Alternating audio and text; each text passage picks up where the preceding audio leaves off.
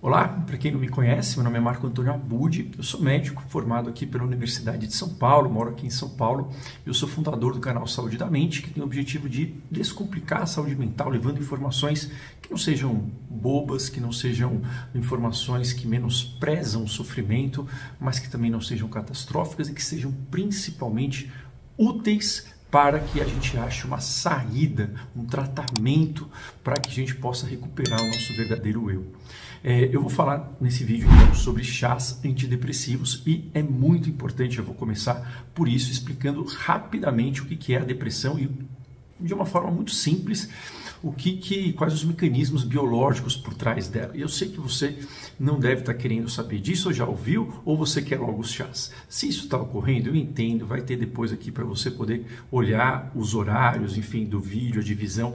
Mas se você entende o mecanismo de forma simples, nada muito sofisticado, você consegue ter um poder muito maior, primeiro, de saber se você está tentando remédios ou chás ou estratégias que são basicamente a mesma coisa e que às vezes você perde anos patinando num tratamento único. Depois você também vai conseguir entender onde é que tem que atacar e qual é o próximo passo, o que, que você pode esperar de cada tratamento. Isso dá para você uma previsibilidade, um controle muito alto. Ah, o poder do tratamento tem que estar na mão de quem sofre. O médico ele é um facilitador, ele filtra as informações. Mas quanto mais você tiver esse conhecimento, mais você consegue ser dono do seu próprio tratamento, consegue ser o seu próprio terapeuta e consegue lidar com as dificuldades da vida sem deixar que elas te derrubem. Tá? Então, rapidamente, depressão, pelo conceito atual, é uma perda, uma diminuição, uma anestesia, um achatamento das emoções positivas. O que eu chamo de emoções positivas? Tem a ver com prazer, com desejar coisas no futuro, com interesse em ter coisas boas no futuro, com vontade, tem a ver com lembrar as coisas boas da vida que você viveu e que a depressão ela esconde do seu cérebro. Tem a ver com você recuperar a energia física e recuperar a energia mental, tanto em termos de concentração quanto de velocidade de raciocínio. Tudo isso faz parte do conjunto que nós chamamos de um modo cerebral das emoções positivas. Então, se a gente pensar alegria, felicidade, entusiasmo, tudo isso dá vontade do quê? Dá uma energizada, dá vontade de aproximar, dá vontade de fazer, de construir. E isso é a função das emoções positivas. E na depressão, isso está apagado. Você tem uma dificuldade em ter interesse, tem dificuldade em sentir o gosto da vida, o gosto das coisas que você gostava de fazer antes. Você não consegue ter a sensação física da comida sendo gostosa, do, do, da temperatura, você não consegue apreciar as coisas e aproveitar os bons momentos em família. Ou seja, a alegria, a felicidade, o prazer estão achatados e desligados. E as emoções negativas, elas podem sim estar aumentadas, mas não necessariamente. Tem depressões cuja a apatia é o que predomina. Então, Depressão é uma perda da capacidade de sentir prazer, de interesse, perda de energia física e mental. Tem outros sintomas acessórios, mas esses daqui são os sintomas raízes, fundamentais. Eu repito isso, por quê? Porque saber que isso é o sintoma raiz, você já entende que se você não atingiu esse objetivo, quer dizer que o tratamento ele não foi feito de forma completa. E um dos maiores erros, de forma muito simples, é a pessoa focar, e infelizmente ainda tem muitos médicos psiquiatras que adotam essa postura, até porque isso foi mudado ao longo dos últimos anos, enfim, é, focam em diminuir a tristeza, em fazer você ficar menos angustiada, o que é extremamente importante. Mais uma pessoa menos angustiada, que não consegue ter ânimo, que não consegue ter brilho no olhar, que não consegue ter energia, motivação para fazer as coisas, essa pessoa ela não está bem, ela não está curada da depressão e eu posso garantir para você que nós temos cada vez mais armas eficazes, não só para diminuir as emoções negativas, mas também para aumentar essa sensação de prazer, de conquista, de que há algo bom no futuro nos esperando. Então, isso é depressão, tá? E o foco deve ser em melhorar as emoções positivas. Tem que voltar a ter alegria, tem que voltar a dirigir, a agir sobre o mundo, tá? A depressão tem várias causas, muitas causas, tá? Não é uma coisa simples e é, se você, enfim, as causas que o pessoal fala, serotonina, dopamina, noradrenalina, elas fazem parte, mas se fossem só isso, bom, você já teria melhorado, a gente resolveria o problema de muita gente, né? E se você não melhorou com essas estratégias, não é culpa sua, porque porque elas são parciais, tá? As três principais causas são inflamação, química, alteração química e alteração nas conexões neuronais. Existem áreas do cérebro, conexões que estão congeladas. Eu sei que parece muita coisa, você não precisa decorar agora, mas se você quiser saber tudo sobre as causas, sobre o tratamento, sobre quais os tipos e quais os tratamentos não medicamentosos mais eficientes para depressão, que permitem com que você trate a depressão sem remédio se você não usa, ou permite com que você potencialize a medicação e tenha a maior chance de ficar bem e desmamar o remédio e não ter recaída, se você quer esse mapa, eu convido você a participar de um evento que eu faço poucas vezes por ano, faço desde 2019, mas eu faço uma ou duas vezes por ano, chamado Maratona Supere a Depressão, que é totalmente gratuito. E nesse evento eu vou dar para você um mapa atualizado com os melhores conhecimentos científicos atuais e que funcionam, testados na prática, para que você possa superar a depressão de forma completa, definitiva, de forma não medicamentosa, de forma prática, e você vai sair com esse mapa de lá. Isso é totalmente gratuito, só que você precisa se inscrever e é muito importante que você se inscreva no grupo de WhatsApp. Por quê? Porque você vai receber muito material, você vai receber tabela de suplementos, tabelas de terapias, você vai receber orientações, vai orientações nutricionais, exercícios práticos para você começar a aplicar na sua rotina desde o primeiro dia e isso começar a remodelar essas conexões e isso a gente consegue mandar somente pelo WhatsApp, tá? Então é totalmente gratuito. Clica aqui e inscreve no grupo do WhatsApp. A gente promete que não vai ficar mandando demais, um monte de mensagem e depois você não vai precisar comprar nada também, você vai sair de lá com esse mapa completo, tá? Bom, então, entendendo que a gente tem inflamação, a gente tem química e tem essas conexões, digamos, paralisadas, a gente sabe que os tratamentos, eles vão ter que atuar nessas três funções, nessas três frentes. Se a gente usa um tratamento que atua só na inflamação, provavelmente ele vai dar um resultado parcial, ou se atua só na química, ou se basicamente eh, você tenta religar essa área do cérebro e não consegue. Então a ideia é o que? É que a gente possa entender esse padrão para que a gente possa investir em tratamentos que vão abranger todas essas áreas, tá? E a boa notícia é que a maioria dos chás, principalmente esses que eu vou falar hoje, eles abordam todas essas áreas. E isso, de fato, é uma ótima notícia.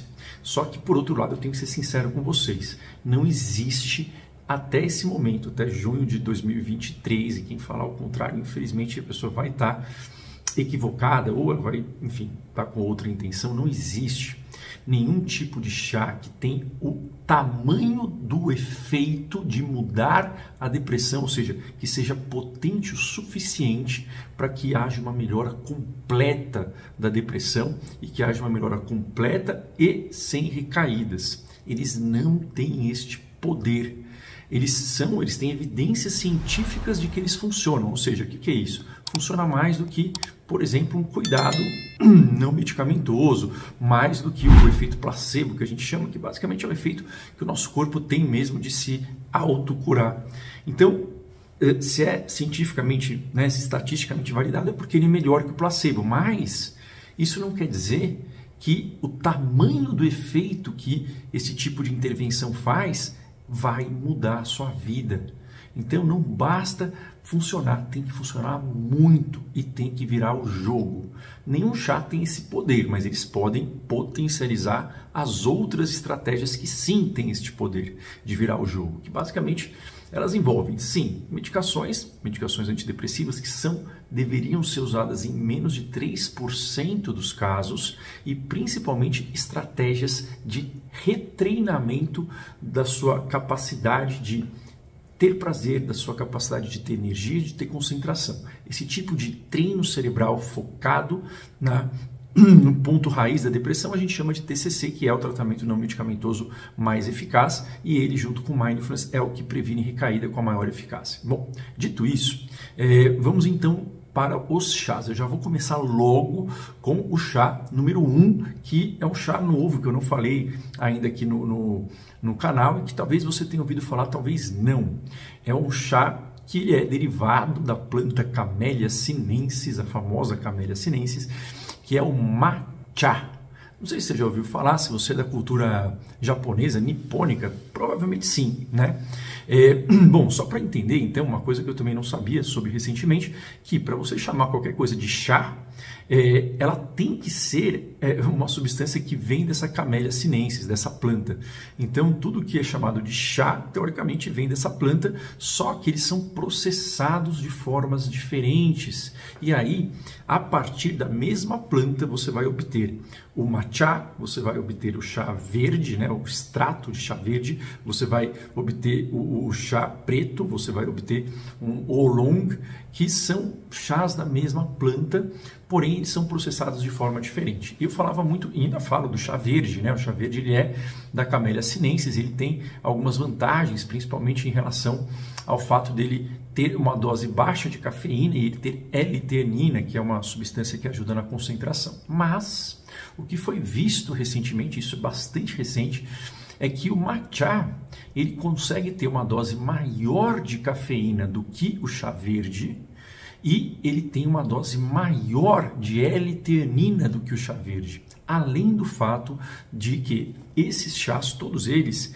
terem propriedades, substâncias que são antioxidantes e anti-inflamatórias. Mas assim, o que quer dizer tudo isso? Tá, então vamos lá. Ó. O café ele não é um vilão da depressão, ele não é.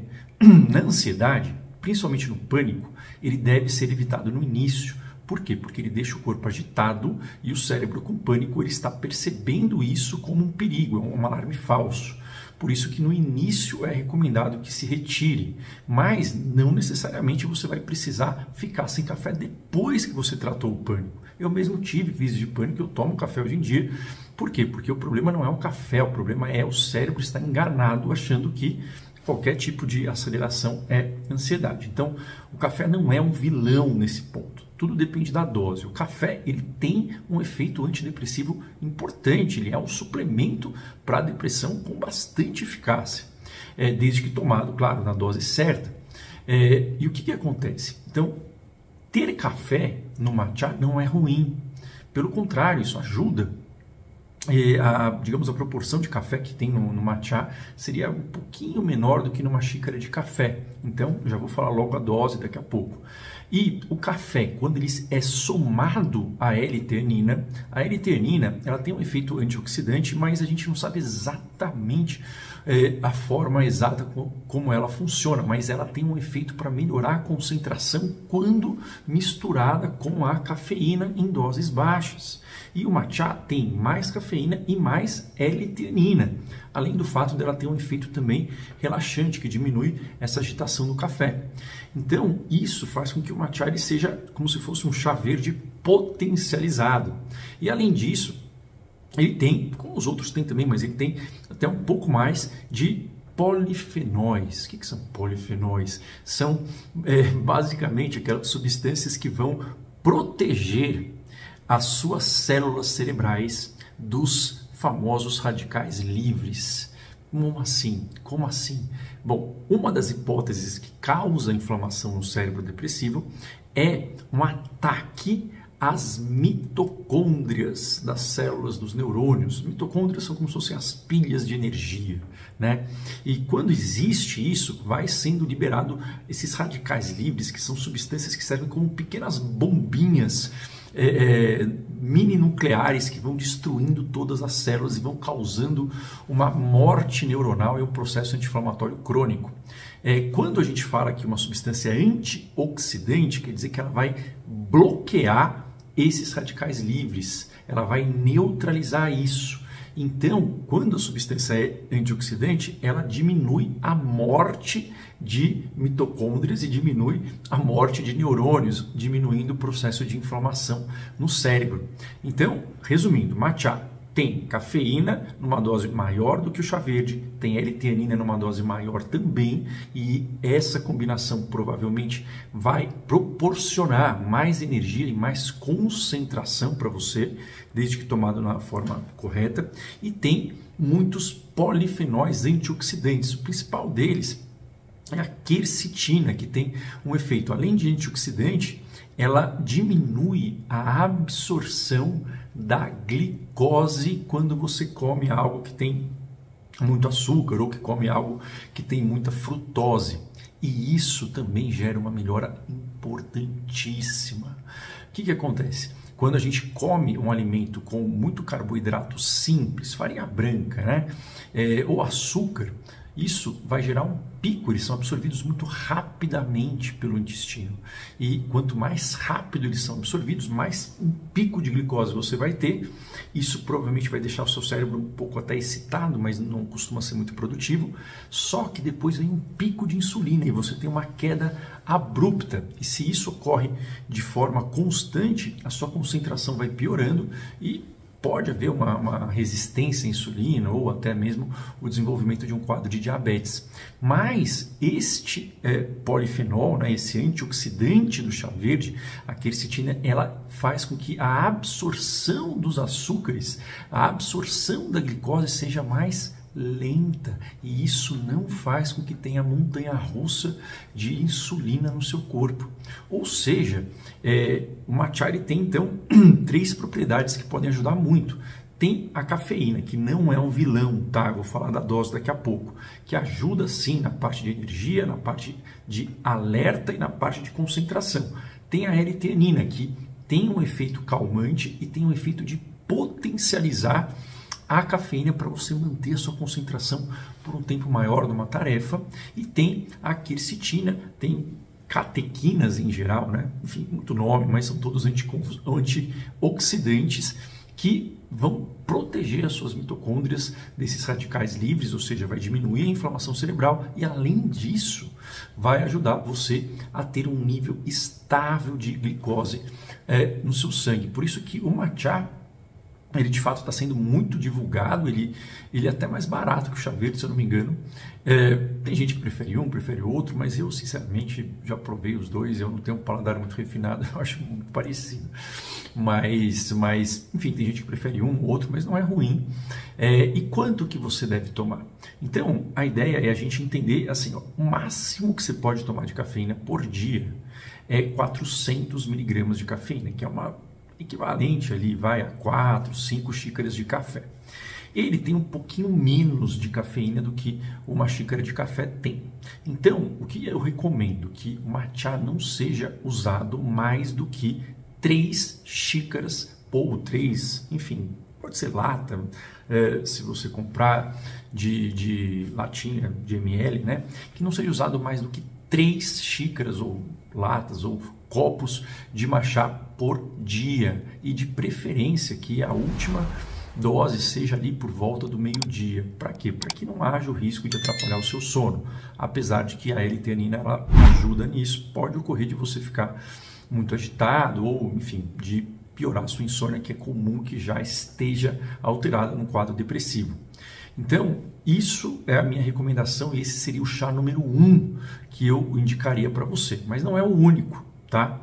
Qual seria o segundo, o segundo colocado aí, na minha opinião, né? O segundo colocado é um chá que eu já falei, que pode ser tomado tanto na forma de chá quanto na forma de suplemento, que é um dos suplementos, é, segundo a maior revisão, a maior consenso de especialistas em psiquiatria do mundo, que foi no ano passado, eles é, olharam para todos os fitoterápicos, todos os suplementos, e eles atestaram que é, esse chá, que é o chá de cúrcuma, né, da, do turmérico, é, de fato, ele tem o poder de tratar a depressão de uma forma é, tanto como adjuvante a tratamentos clássicos, como também até de uma forma em monoterapia, ou seja, você poderia teoricamente tratar só com isso. Eu não recomendo porque eu não conheço ninguém que conseguiu melhorar totalmente da depressão somente com a cúrcuma. Eu não conheço nenhum colega meu nenhum professor meu que conhece tão bem. Mas a cúrcuma tem benefícios comprovados, não dá para negar que ela tem um efeito antidepressivo importante. É, da onde que vem esse efeito antidepressivo dela? Uma parte é devido ao efeito anti-inflamatório, mas uma outra parte, uma parte mais difícil que talvez você nunca tenha ouvido falar. É, mas você já ouviu falar do triptofano, imagino. Né? Triptofano ele é um aminoácido que ele é um precursor da serotonina. Então você come triptofano, ele é absorvido e aí ele vai virar serotonina dentro do seu cérebro.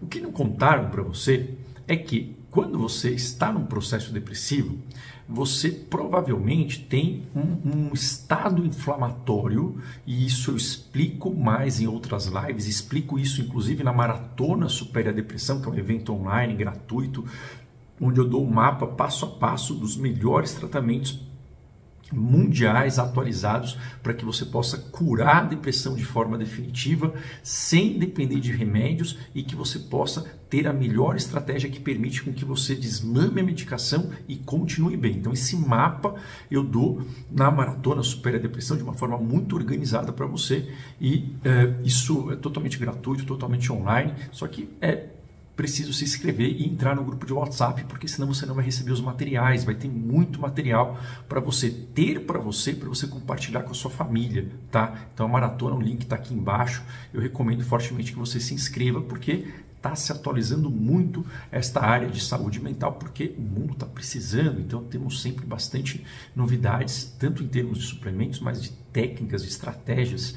E sim, a depressão tem cura, o tratamento tem que ter começo, meio e fim, e a grande maioria das pessoas nunca tratou com aquilo que tinha a menor chance de funcionar. Então existe esperança. Bom, voltando para a cúrcuma, é, a ideia é que uma parte dela provavelmente então é anti-inflamatória, outra parte tem a ver com triptofano. Por quê? Porque talvez não tenham dito para vocês que é, quando nós estamos num estado de inflamação corporal e a depressão ela vem disso, né? Existe esse estado de inflamação, pelo menos no início dela, é, tanto pela parte alimentar, quanto pelo próprio estresse, quanto pelo próprio nível de cortisol aumentado, também por, uh, digamos, traumas ambientais que a gente sofre, tudo isso libera substâncias inflamatórias no nosso corpo. E quando existe esse ambiente inflamatório é, e essa ativação imunológica, o triptofano ele tem uma dificuldade imensa em virar serotonina. Ele não vira serotonina ele vira uma outra substância, que é um nome muito estranho de falar, que é a quironeurina. E você não precisa decorar isso. É que essa substância, ela tem uma parte dela que é tóxica e tem uma parte dela que não é. Mas o fato é que essa via da quinoreonina faz também com que haja um prejuízo na formação de dopamina, de noradrenalina. E nesses casos, o que, que acontece? Se você der triptofano para a pessoa, é, você vai estar tá jogando aí com a sorte. Pode ser que uma parte vire serotonina, uma parte não. Pode ser que tudo vire é, essa quinoreonina e isso seja tóxico para você. E é por isso que os suplementos de triptofano eu nunca indiquei, porque eles dependem muito de sorte. Tá? Então, é, o que, que isso tem a ver com a cúrcuma? A cúrcuma ela atua nesse ciclo do, da quinureonina. Ela não deixa, ela impede o triptofano de ir para este caminho e facilita com que ele vá para o caminho da serotonina. Então, tem até alguns estudos, mas isso ainda não é estabelecido, de você dar a cúrcuma junto com o triptofano, porque aí sim faria muito mais sentido. Mas não faça isso ainda porque a gente não sabe as doses, isso está sendo testado. O que a gente sabe é que a cúrcuma vai ajudar na formação de serotonina, independentemente de qualquer coisa, tá? E é por isso que eu sei que é complicado, eu falo, enfim, desses mecanismos, eu sei que você não precisa saber disso, mas muito provavelmente a gente fica ali preso numa rodinha e fazendo coisas que não tinham a menor chance de funcionar, mas não tem problema, tá? Não quer dizer que triptofano é do mal, mas a cúrcuma, o principal efeito dela é aí, é fazer com que o triptofano ele vá para o caminho da serotonina e não para esse outro caminho tóxico, certo? Por isso que ela de fato é bastante estudada e ela aparentemente é bastante eficaz nisso certo? Bom, qual seria o, o, terceiro chá? O terceiro chá seria também um dos suplementos que é o, o, um dos mais potentes, pelo menos pelas evidências atuais que nós temos. Isso vai mudando conforme vão saindo mais estudos, né? Que é o açafrão, crocus sativos, já falei dele também, não em chá, mas sim em cápsulas. Ele, de fato, podemos dizer aí que é um dos, dos mais dos mais potentes, ou vamos dizer assim, aqueles que estão mais é, na moda ou aquele, nos quais descobriram-se mais benefícios nos últimos anos, tá? Então, açafrão, de fato, ele, se for para escolher um suplemento ali, digamos, de primeira linha, aquele ali que pode ser a raiz do seu, do seu tratamento com suplementos, é, o açafrão seria um deles, tá? O açafrão tem se mostrado extremamente é, eficaz e o tamanho da melhora que ele demonstra é maior do que a dos outros, ou seja, não basta melhorar, tem que melhorar para virar o jogo, né? Então, aparentemente, ele tem um tamanho de efeito muito bom e ele pode ser ingerido de várias formas.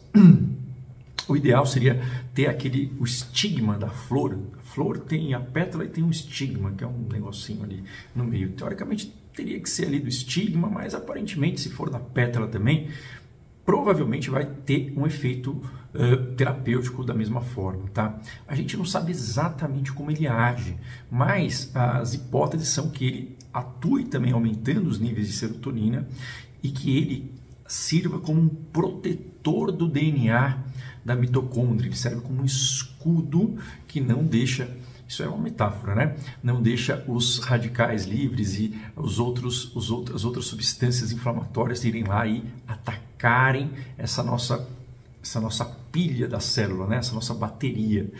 É, e tem uma vantagem no açafrão, que essa vantagem de fato ela é importante. O açafrão, ele tem evidências de que o chá de açafrão pode ajudar a diminuir os efeitos colaterais sexuais causados pelos remédios antidepressivos serotoninérgicos.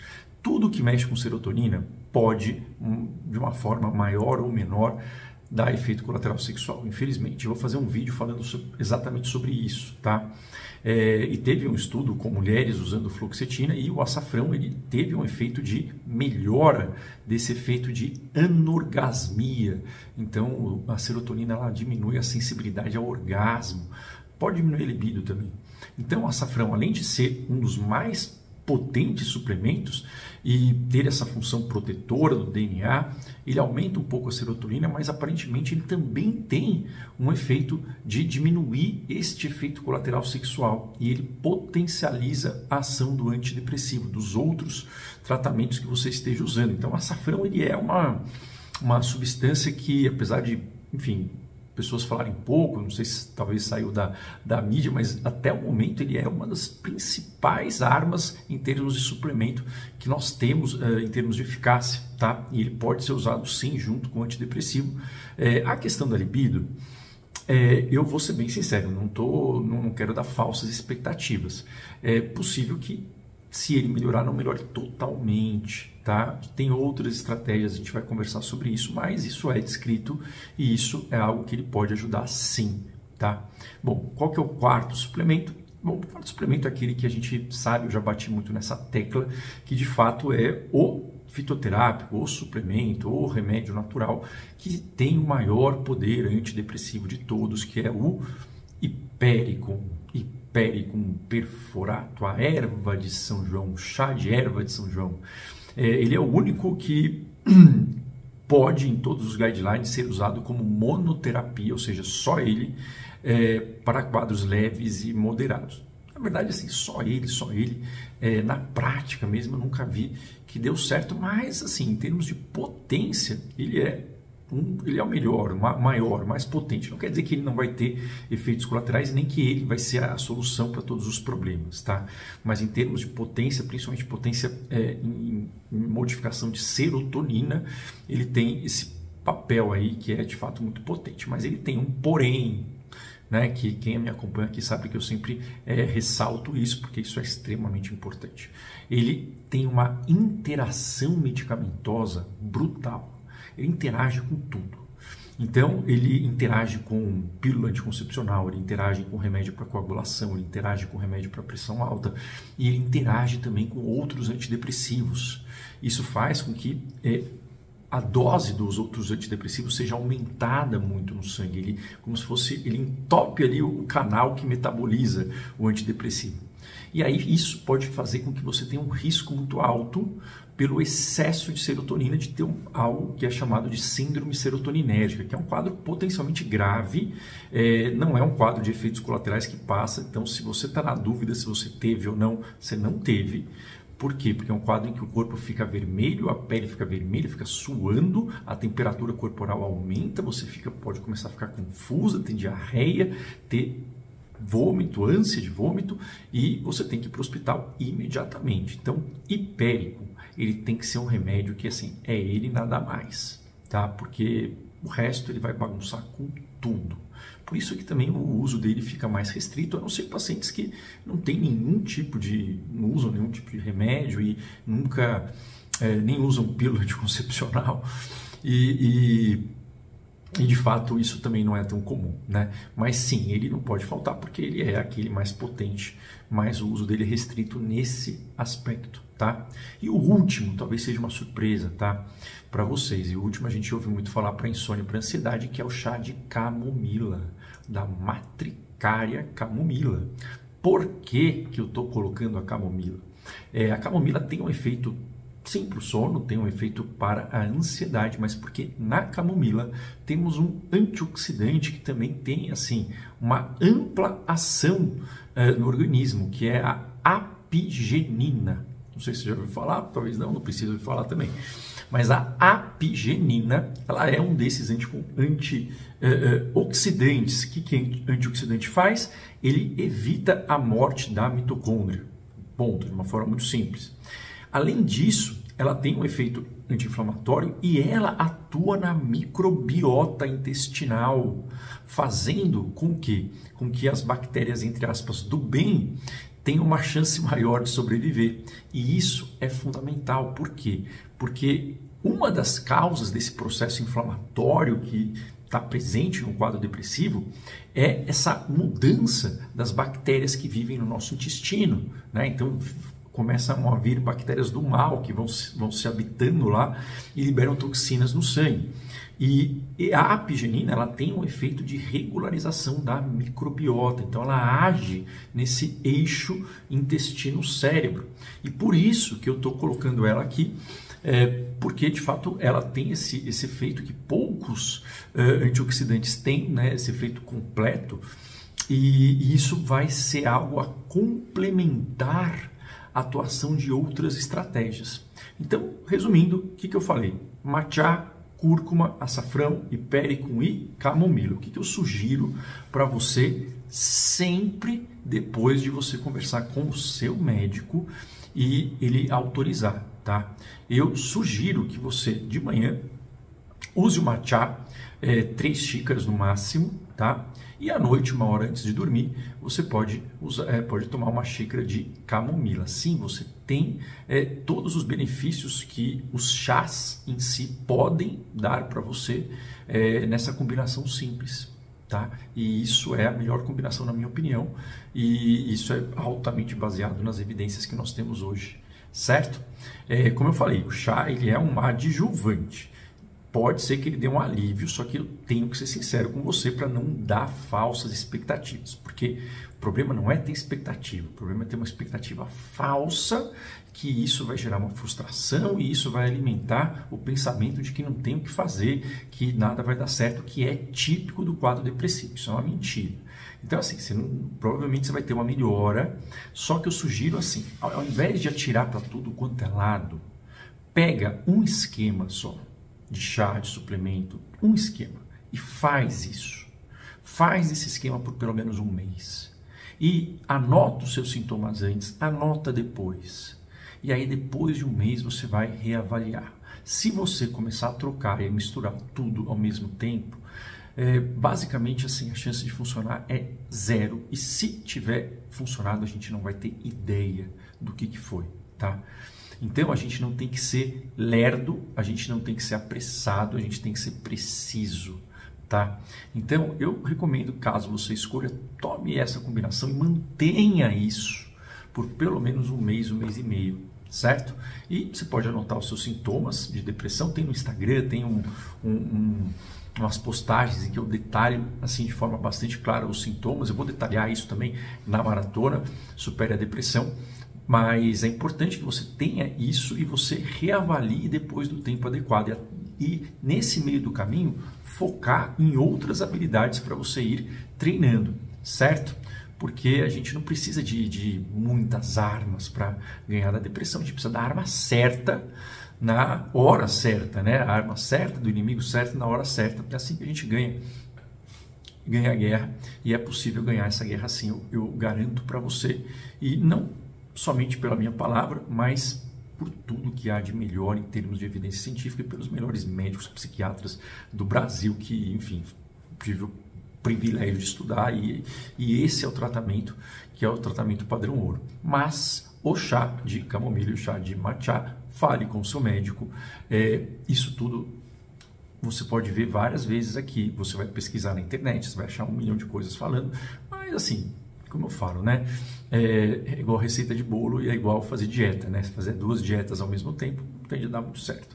É, pega, coloca um mês, por quê? Porque é o tempo que vai ser necessário para isso e foca em outras coisas que você pode fazer para complementar, tá bom? E se você não souber nada e não quiser fazer nada, participa da maratona que lá você vai sair com um plano que seja um plano factível, baseado no seu nível de energia, para que você possa deixar a depressão no passado. É isso.